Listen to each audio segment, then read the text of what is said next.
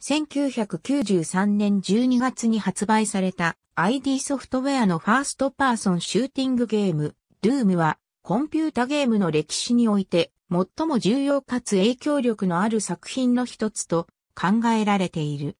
本作の開発は1992年11月に始まり、プログラマーのジョン・カーマックとジョン・ロメロ、アーティストのエイドリアン・カーマックとケビン・クラウド、そしてデザイナーのトム・ホールが参加した。開発後期に、ホールはサンディ・ピーターセンと交代し、プログラマーのデーブ・テイラーが加わった。音楽と効果音はボビー・プリンスによって作曲された。ドゥームのコンセプトは、ウルフェンシュタイン 3D とその続編である、スピア・オブ・デスティニーの発売後の1992年後半に提案された。ジョン・カーマックはそれらのゲームから改良された 3D ゲームエンジンに取り組んでおり、チームは次のゲームで彼のデザインを活用したいと考えていた。コマンダーキーンシリーズの新作を含むいくつかのアイデアが提案されたが、ジョンはチームがプレイしたダンジョンズドラゴンズのキャンペーンに触発されたテクノロジーを使い悪魔と戦うゲームを提案した。開発の最初の数ヶ月はプロトタイプの作成に費やされ、その間に、ホールはゲームのビジョンとストーリーのデザイン文書である、ドゥームバイブルを作成した。ID が、チームがまだ作業を開始していない機能を宣伝する壮大なプレスリリースをリリースした後、ドゥームバイブルは却下され、デザイン文書がないプロットなしのゲームを選んだ。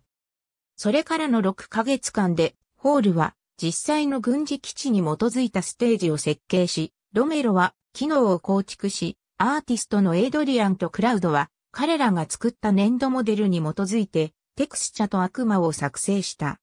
しかし、ホールのステージデザインは面白くないとみなされ、ロメロは自分のステージのデザインを始めた。自身のわずかな影響力に次第に不満を募らせていた、ホールは7月に解雇された。9月に彼の後任としてピーターセンが加わり、1993年12月にゲームが完成するまでチームはさらに長時間働いた。ドゥームは1993年12月10日に ID によってセルフパブリッシングされ、数千人のプレイヤーによってすぐにダウンロードされた。ジョン・カーマック1992年5月、ID ソフトウェアはウルフェンシュタイン 3D を発売した。同作は 3D シューティングゲームの始祖と呼ばれることが多いが、それはこのジャンルで一般的に期待されるテンポの速いアクションと技術力を確立し、ジャンルの人気を大幅に高めたからである。同作の発売直後に、チームのほとんどは、新たなウルフェンシュタインのエピソード、スピアオブデスティニーの制作を開始した。エピソードは、元のゲームと同じゲームエンジンを使用していたため、ID の共同創設者であり、リードプログラマーでもある、ジョン・カーマックは、ウルフェンシュタイン 3D の開発前に 3D ゲームエンジンの制作実験を行っていたのと同じように、代わりに会社の次のゲームの技術研究に集中していた。1992年5月から9月のスペアオブデスティニーの発売までの間に、彼はレースゲーム用を含むいくつかの実験的エンジンを制作した後、レーブンソフトウェアのゲームシャドカスター用2動車にライセンス供与するウルフェンシュタインエンジンの性能向上版に取り組んでいた。このエンジンのために彼は傾斜した床、壁に加えて床と天井のテクスチャ、遠距離からの視認性の低下など、ウルフェンシュタインエンジンにいくつかの拡張機能を開発した。その結果完成したエンジンは、ウルフェンシュタインエンジンよりもはるかに低速であったが、シャドカスターのようなアドベンチャーゲームでは許容できると判断された。スピアオブデスティニーの発売とシャドカスターエンジンの完成に続いて ID ソフトウェアは彼らの次の作品をどうするかについて話し合った。彼らはカーマックの新しいエンジンを出発点として別の 3D ゲームを作成したいと考えていたが、ウルフェンシュタインに飽き飽きしていた。リードデザイナーのトム・ホールは特に嫌気がさしており、コマンダー・キーンシリーズの別のゲームを制作するよう、チームに迫った。チームは最初のゲームとして1990-91年にシリーズの7つのエピソードを作成したが、計画された3番目のエピソードセットは、ウルフェンシュタイン 3D が優先されることで取り下げられていた。カーマックは当初このアイデアに興味を持っていたが、他のチームメンバーは興味がなかった。彼らはシリーズのプラットフォームゲームプレイはカーマックのテンポの速い 3D エンジンにはあまり適していないと感じており、特にウルフェンシュタインの成功後はそのタイプのゲームをより追求したいと感じていた。さらに、ID の他の二人の共同創設者は、別のキーンゲームの制作には興味がなかった。ウルフェンシュタインのデザイナーであるジョン・ロメロは、別の可愛らしいゲームを行うことに興味がなく、リードアーティストのエイドリアン・カーマックはキーンよりダークなスタイルでアートを作成することを好んだ。ジョン・カーマックは同様にすぐにキーンのアイデアにも興味を失い、代わりに彼独自のコンセプトを考案した。それはテクノロジーを使用して悪魔と戦うゲームで、チームがプレイしたダンジョンズドラゴンズキャンペーンにインスパイアされ、資料の腹渡2とエイリアン2のスタイルを組み合わせたものである。コンセプトには当初、グリーンピストという歌唱が付けられていた。これは、ホールがウルフェンシュタインの前に提案したコンセプト名でもあったが、カーマックはすぐに映画、ハスラー2のセリフ、What's in the case, in here, Doom にちなんでゲーム案に名付けた。チームは Doom のコンセプトを追求することに同意し、1992年11月に開発が始まった。初期の開発チームは、プログラマーのジョン・カーマックとジョン・ロメロ、アーティストのエイドリアム・カーマックとケビン・クラウド、デザイナーのトム・ホールの5人で構成されていた。彼らはオフィスをスイート666と名付けられた暗いオフィスビルに移し、隣の歯科医院の騒音からインスピレーションを得た。彼らはまた、最初のゲーム、コマンダーケーン・インインベージョン・オブ・ザ・ボールタコンズを制作するための初期の前金を与えたアポゲイソフトウェアとの関係を断ち、これまでにゲームのシェアウェアバージョンを公開した。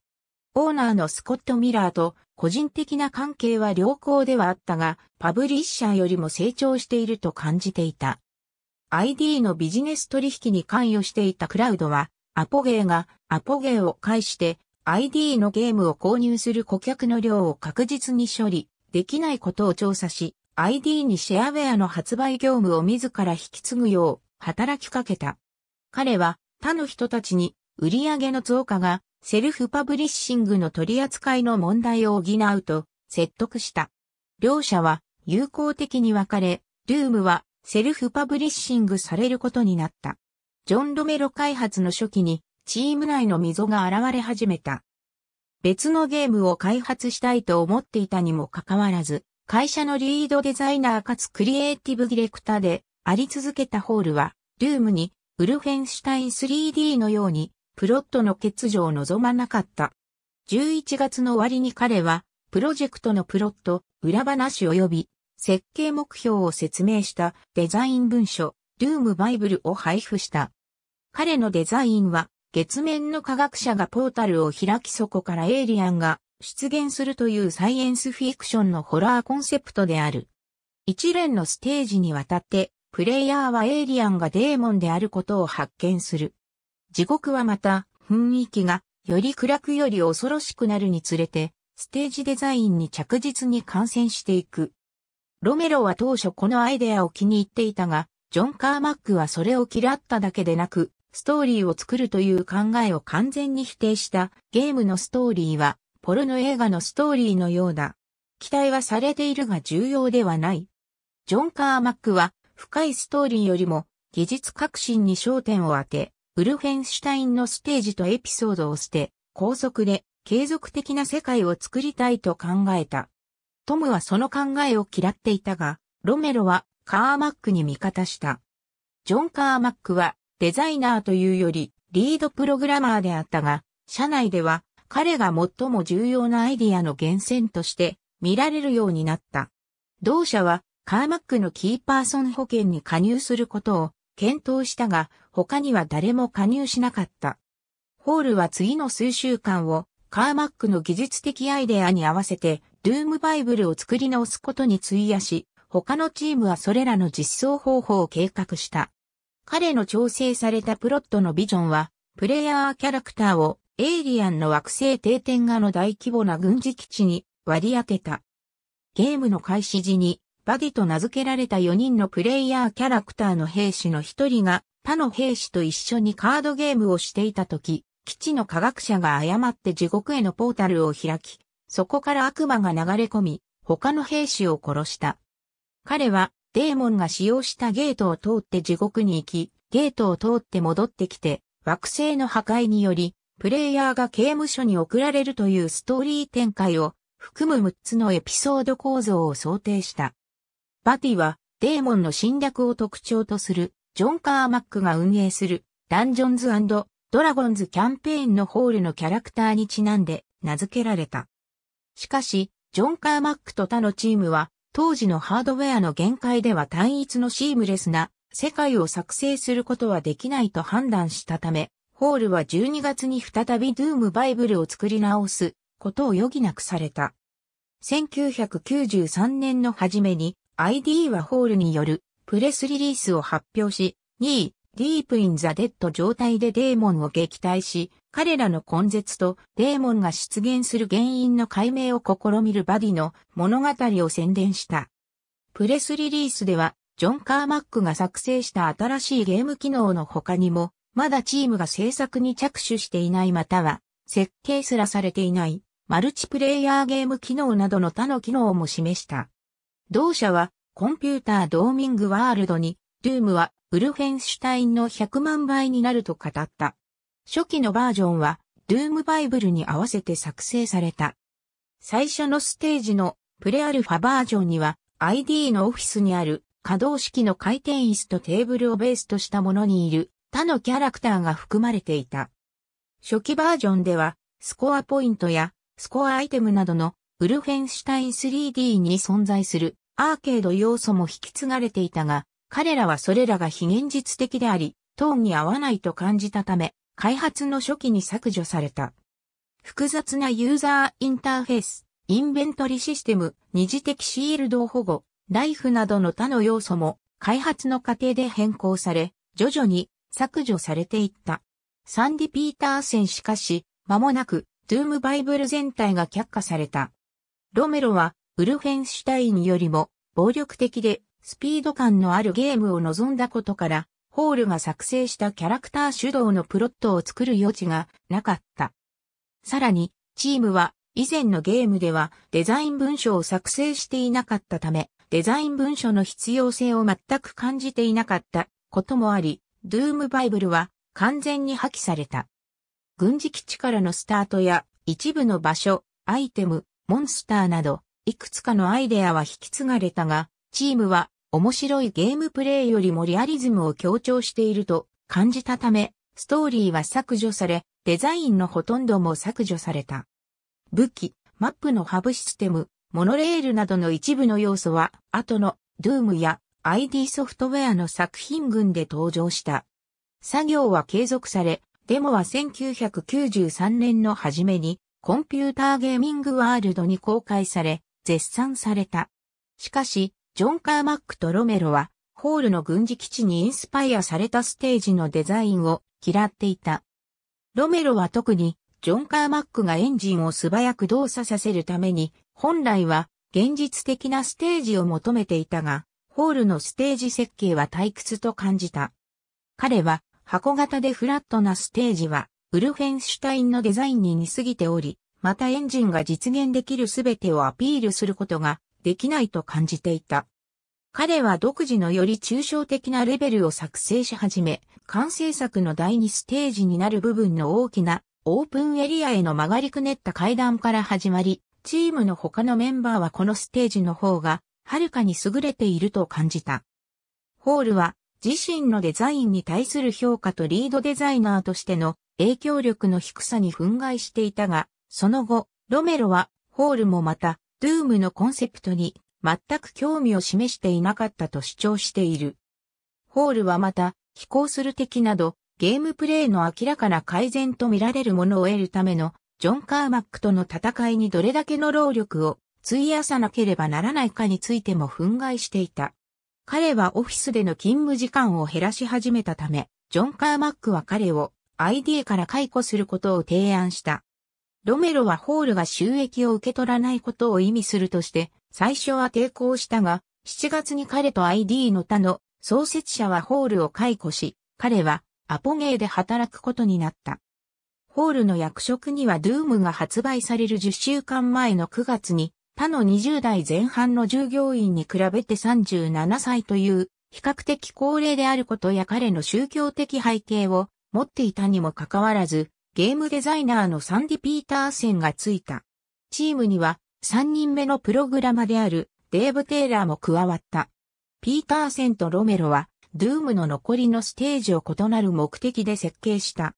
チームは、ピーターセンのデザインはより技術的に興味深く変化に富んでいるのに対し、ロメロのデザインはより神秘的に興味深いと感じた。ロメロのステージ設計プロセスは、ステージ、またはステージの一部を最初から構築し、それをプレイしてデザインを繰り返し、ステージの流れや遊びやすさに満足するまで何千回もプレイするというものであった。ロメロによって作成された最初のステージはエンジンの新しい要素をアピールすることを目的として作成された最後のステージであった。ウルフェンシュタイン 3D と同様に、各ステージのクリア画面にはロメロが設定したステージの標準時間が表示される。マルチプレイヤーコンポーネントがコーディングされた後の1993年後半には、開発チームはロメロがデスマッチと名付けた4人対戦のマルチプレイヤーゲームをプレイし始めていた。彼は協力マルチプレイヤーモードを追加することも提案した。ロメロによれば、デスマッチモードは格闘ゲームから発想を得たという。チームは休憩時間に頻繁にストリートファイター2、画廊伝説、竜子の拳をプレイしながらトラッシュトークや家具や設備の破壊に関する複雑なルールを開発した。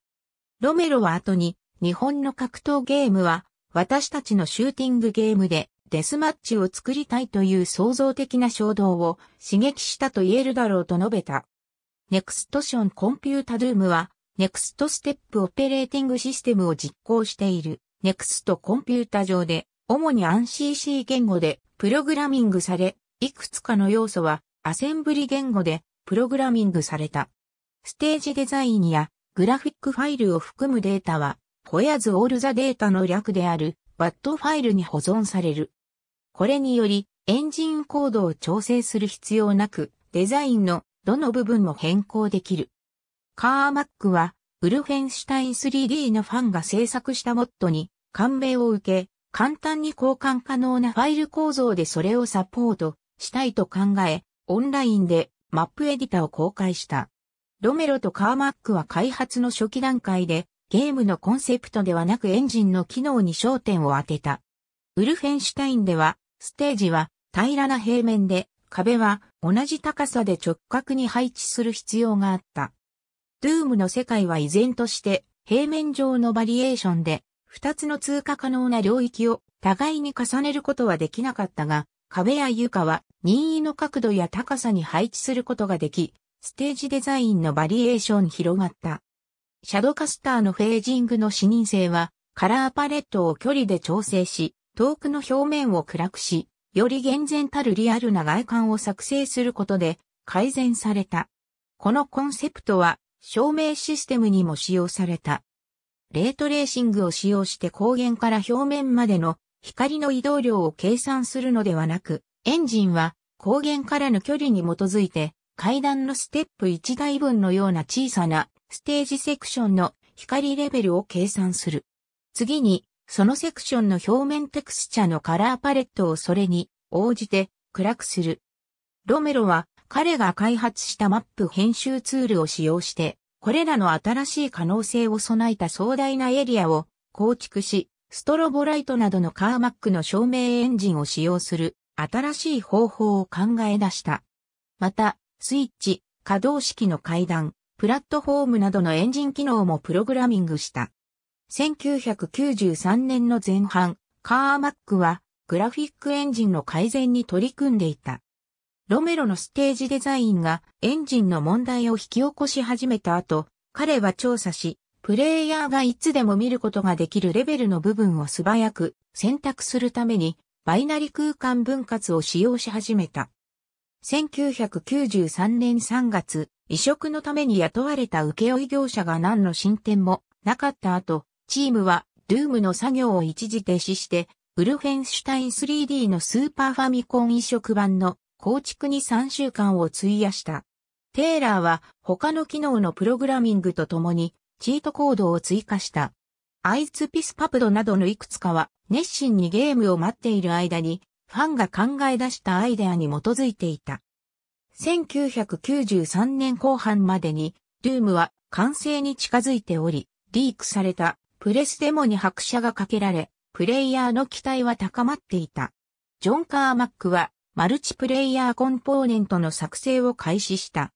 2週間以内に彼は2台のコンピューターで内部オフィスネットワークを介して同じゲームをプレイしていた。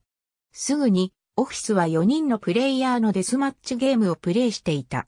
スパイダーマスターマインドの模型エイドリアン・カーマックは、ドゥームのリードアーティストを務め、ケビン・クラウドが追加のアーティストとして参加した。さらに、パッケージイラストとロゴの制作に、ダン・イバン・プンチャッツが雇われ、一部のモンスターは、彼の息子であるグレゴールが制作した。ドゥームは、ID 設立以来、エイドリアン・カーマックが作りたかったゲームスタイルで、ダークスタイルと悪魔を使ったゲームであった。彼とクラウドはモンスターを悪夢のようなデザインにし、それらをアニメ化するための新しい技術を開発した。意図は、ステージングやレンダリングとは対照的にリアルで暗いグラフィックスを使用することであったため、アートワークにはミクストメディアアプローチが採用された。カーマックがナチスの敵のスプライトアニメーションのすべてのフレームを描画したウルフェンシュタインとは異なり、ドゥームではアーティストが粘土からいくつかの敵のモデルを造形し、ゲーム内でリアルに回転させられるように5から8つの異なる角度からストップモーションで撮影した画像をデジタル化し、ジョン・カーマックによって書かれたプログラムで 2D キャラクターに変換した。エイドリアン・カーマックはプレイヤーキャラクター、サイバーデーモン、バロン・オブ、ヘルの粘土モデルを作成したが、アニメーションでモデルを移動させながら照明の下で、クレイを一定に保つという問題があまりにも大きすぎると判断した。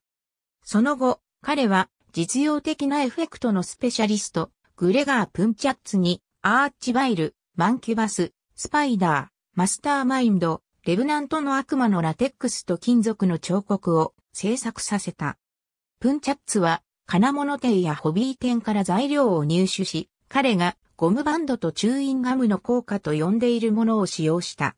武器はおもちゃで、様々なおもちゃのパーツを組み合わせてより多くの銃を作っていた。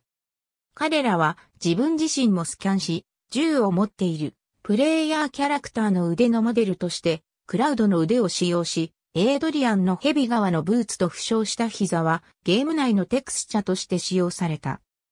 ロメロはカバーイラストに使用されたボディモデルで男性モデルを操作してダン・イバン・プンチャッツの参考写真を入手しようとしたとき、ロメロは海兵隊が無数の悪魔に襲われようとしているようなポーズの取り方を彼に伝えようとして苛立った。ロメロは彼が試みている外観のデモンストレーションとしてシャツなしのポーズをとっており、その写真がプンチャッツが使用した写真となっている。スプライトの作成には、エレクトロニックアーツのデラックスペイント2が使用された。ウルフェンシュタイン 3D と同様に、音楽と効果音の作成にボビー・プリンスを雇った。ロメロはプリンスにテクノとメタルスタイルで音楽を作るように指示した。多くの曲はアリス・イン・チェインズやパンテラなどの人気のメタルバンドの曲から直接インスピレーションを得たものである。プリンスは特に当時のハードウェアの限界を考えると、よりアンビエントな音楽が効果的だと感じ、ロメロを説得するために、両方のスタイルで多数のトラックを制作したが、ロメロは未だにメタルトラックを好んでおり、両方のスタイルを追加した。プリンスは特定のステージ用の音楽を作ったわけではなく、ほとんどの音楽は最終的に割り当てられたステージが完成する前に作曲された。代わりに、ロメロは開発の後半に各トラックを各ステージに割り当てた。音楽とは異なり、敵と武器の効果音は特定の目的のために、プリンスによって作成されており、彼はモンスターや武器の短い説明やコンセプトアートに基づいて、それらを設計し、完成したアニメーションに合わせて音響効果を調整した。モンスターの効果音は動物の騒音から作成され、プリンスは当時の限られた音響ハードウェアで多数の効果音が一堂に流れてもすべての音響効果を区別できるように設計した。ID は Doom のセルフパブリッシングを計画していたため、完成に近づくと販売システムを準備する必要があった。CEO であり、ビジネスチームの唯一のメンバーの J. ウィルバーは、ドゥームのマーケティングと流通を計画した。彼は、主流のマスコミは、興味がなく、ID が顧客に直接販売するゲームコピーから最大の収益を得ることができると考えたため、シェアウェア市場を可能な限り活用し、どのゲーム雑誌にも広告を一つだけ購入することにした。代わりに、彼はソフトウェア小売業者に直接連絡を取り、最初のドゥームエピソードのコピーを無料で提供し、ID から直接ゲーム全体を購入することに顧客の興味を刺激するために自由な値付けをすることを許した。ドゥームの最初の発売日はチームが満たしていなかった1993年第3四半期だった。1993年12月までにチームはノンストップで働き、数人の従業員はオフィスで寝泊まりしていた。プログラマーのデーブ・テイラーは、その仕事は彼に激しいことから抜け出すほどの急ぎを彼に与えたと主張した。ゲームの古代宣伝がオンラインで構築されていたため、ID はゲームに関心のある人々、またはゲームが発売予定日を逃したと怒っている人々から電話を受け始めた。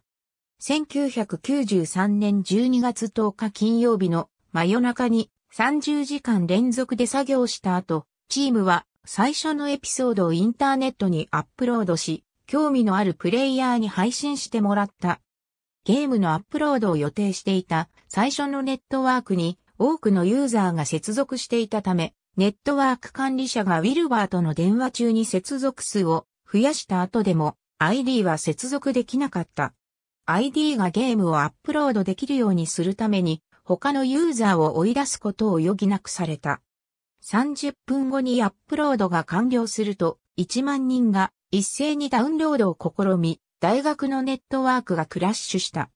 数時間以内に他の大学のネットワークでは、プレイヤーが殺到してシステムを圧倒したためドゥームマルチプレイヤーゲームが禁止された。ドゥームの開発中、5つのプレリリースバージョンに名前、または番号が付けられ、テスターや記者に見せられていた。